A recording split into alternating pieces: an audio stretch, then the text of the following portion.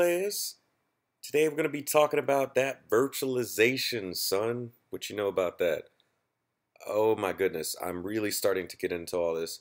Had no idea how much virtualization is starting to tie into networking. So, as you know, my profession, I do networking.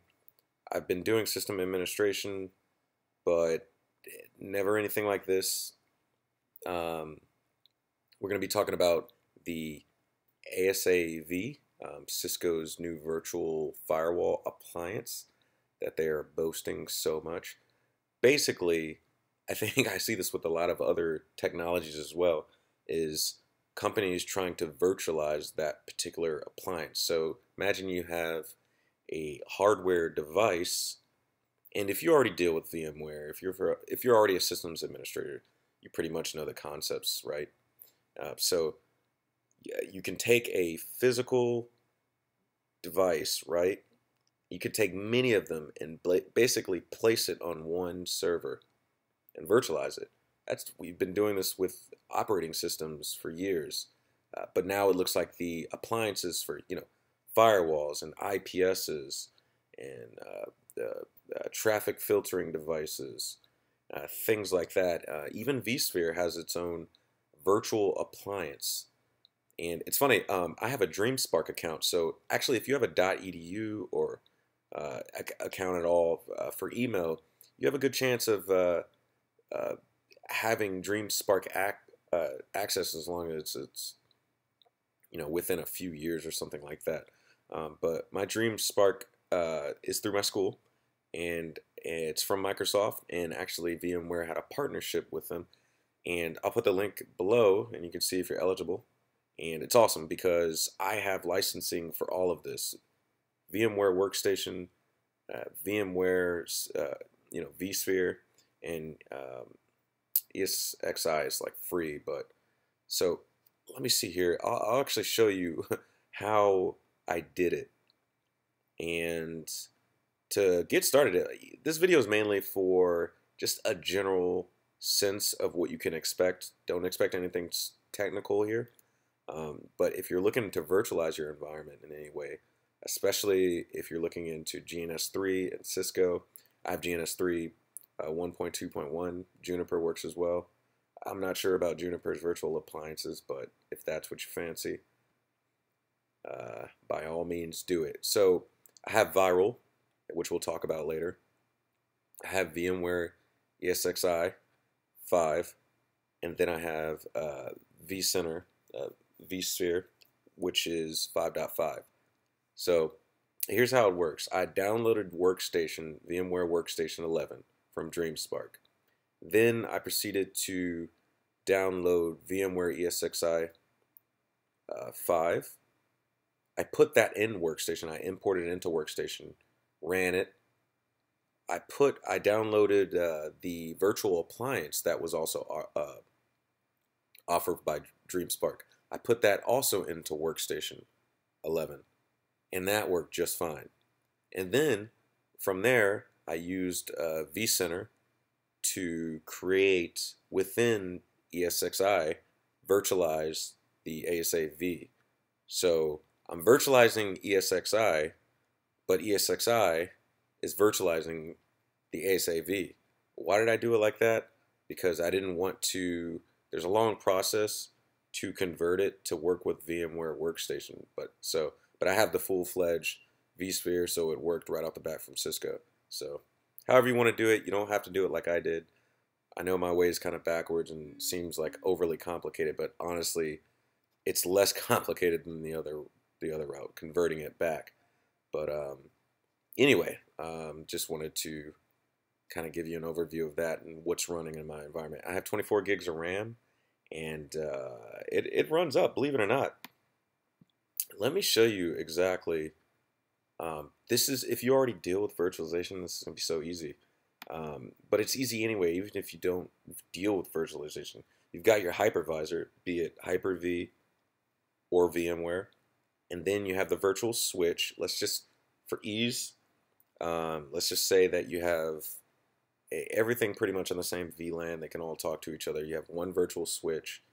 Uh, you provision your ports or whatever, um, and you have, let's say you have like six machines or whatever, six servers, provision servers, um, and then you have the ASA uh, V, just as a, a virtual machine, just like as a server. And you can add NIC cards to it and all that good stuff, just like you would a regular server. And then you can have active standby. Um, think I already mentioned the licensing with that. I think you could do active active too, and it's stateful. So it's awesome for lab setups, and it's also awesome for practical use. Uh, obviously, they want you to buy the license for your use on your enterprise, but you could also use it. Uh, I, I, saw some people online they actually use it for their home firewall. Isn't that crazy? Isn't that crazy? You can have a virtualized firewall, so it's like you can get rid of the hardware firewall that you probably had. Just thinking about it is just crazy to me. I don't, I don't know why, but uh, it's exciting stuff though. So minimize that. Here's my topology: GNS 1.2.1.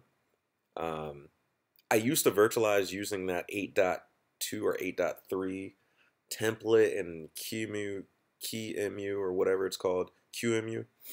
and it was really slow and it worked some of the time. And it it when I wrote to the memory of the ASA, it worked some of the time, and it was so annoying.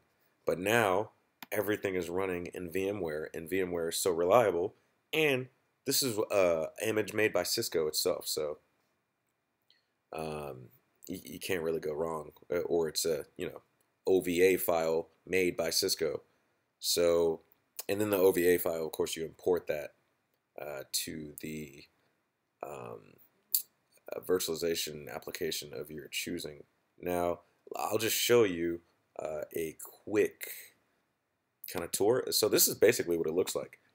Uh, the ASAV, I think I saw you saw it in the beginning. I basically named it Titan do a show run. I mean, if you just look at this, great.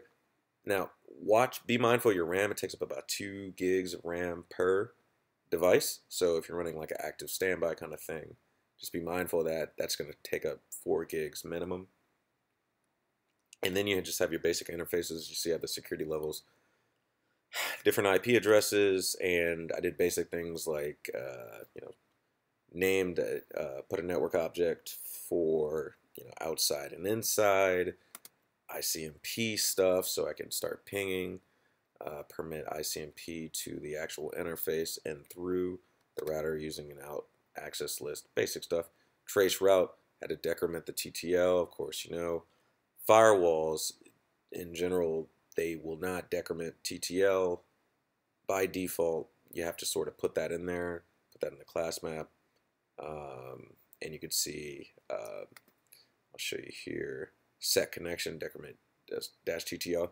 And of course, after that, you'll probably have to set up some access lists depending on how you want to, you know, where you want the, the ability for people to trace route through your router. And again, this is all typical lab environment stuff, but honestly, I recommend you allow trace route, um, at least from the inside, uh, for troubleshooting purposes when things go wrong in your production network. So there, I don't, there's not nothing wrong with that. Um, so yeah, see, I mean, look how similar it looks to an ASA. So I, I'm I'm really happy Cisco, you know, went down this route virtualization, but I feel like they they you know they probably needed to uh, because their stuff was getting pretty dated.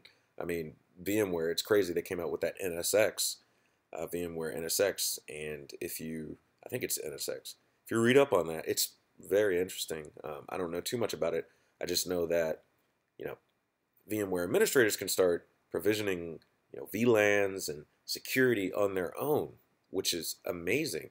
That means the VMware guy not only now eh, does he have to know about Windows and VMware, but now he has to know a lot about networking as well. And on the other side, engineers, network engineers have to know a lot about virtualization and the server stuff. So it's all like you have to know a lot about a lot now because technology is always changing, it's always getting more competitive. And that's why, you know, there should never be a day where you don't learn something. So, uh, pretty interesting stuff. Basic GNS3 stuff. You know, got the iOS right here. Now, the only thing is that I guess I've heard of this IOU thing. I haven't tried that out. But switching virtualization is just or switching emulation, I should say, has been sort of one of those things that uh, it's just not there yet, or not there at all. And actually, I don't know if you heard about this, but this is uh, uh, Cisco VIRL, and this is their website. And I actually purchased the academic version because at a .edu address or whatever. And you know, I I I like it. It's okay, and this is it right here. But it's just it's not as intuitive as GNS3. And the funny thing is, is that GNS3 is from a bunch of like, you know, pro these these these uh, programmers were doing it like kind of like pro bono, and I know that it's more of a company now than it was back then, but because there's so much user input, I think that's what makes GNS3 a better program in general. I mean, this program looks like it was made in Java 5, like in the 90s or something. Like, look at this. What is this? This looks like a slightly smarter, slightly higher IQ version of Cisco Packet Tracer. And if you if you don't know what Packet Tracer is, honestly, it's helped me get CCNA level security or uh, uh, certifications. um, but uh, it doesn't really go beyond that, in my opinion. And um, yeah, look at this. I mean, I, I know that looks aren't everything, but it took me forever to figure out how to actually remote into a device, right? And I, I'm, I'm the kind of guy that likes to download stuff, right? And then just play with it. All right. I do look at a lot of documentation, but honestly, I like figuring things out on my own, it, or try at least try to. Uh, most of the time, it doesn't really work out because some of the stuff I do try to look into is pretty complex. So, you know, I was right clicking this bad boy, and hey, look, you figured there'd be a connect, but no, you know what you actually have to do? You have to hit start, right?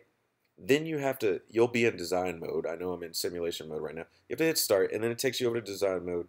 And then you actually have to click on one of the right click. It doesn't say that now, but you basically have to right click this and get this. There's something that says like telnet to on the console port. I'm like, how can you telnet on a console? But anyway, it's just it, it's ridiculous. And connecting these nodes, it automatically connects and automatically. I'm like, why can't I choose my interface? It's I don't know, man. And then you got this AutoNet kit thing that's I think is actually pretty awesome, but I haven't gotten into it. Um, it basically can automate your network, so you don't necessarily have to worry about, um, uh, you know, configuring every single you know command for BGP, AS numbers, and all that good stuff. So I like that uh, feature.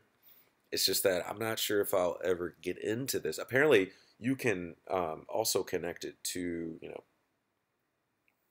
Cisco 1PK and you know if you got Python and Java and stuff like that. Which me personally, I am learning on how to script using 1PK, uh, Tcl, Python, Java, all that good stuff. So it's just not enough time in the world. I feel like. Just not enough time in the world. But uh, yeah, it's all interesting stuff. And that's all I really wanted to show you guys. So if you're thinking about getting into virtualization, I know this video is probably way longer than it needs to be, but if you're thinking about getting into networking, I su highly suggest you immediately download a hypervisor of some sort. Hyper-V is actually free.